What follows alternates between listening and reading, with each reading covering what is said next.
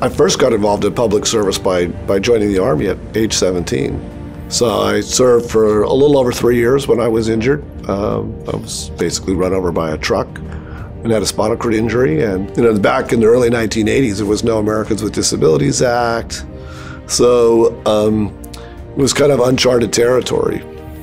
I've gone through some hard times, and uh, at least one of the things that drives me for public service is is to help reduce the number of people that uh, will have to go through some of the things that I had to experience. I would describe my work kind of in two ways.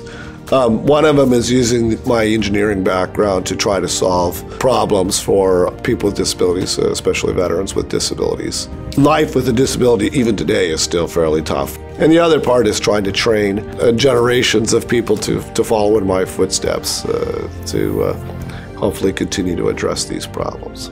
That's what it's really all about, right? Trying to make their lives better, their families' lives better. Who's more important to serve than uh, somebody who was perfectly healthy, put their life on the line? You know, you talk about, in America, we talk about the 1%, but the, the 1% that's really important is the 1% serving in uniform.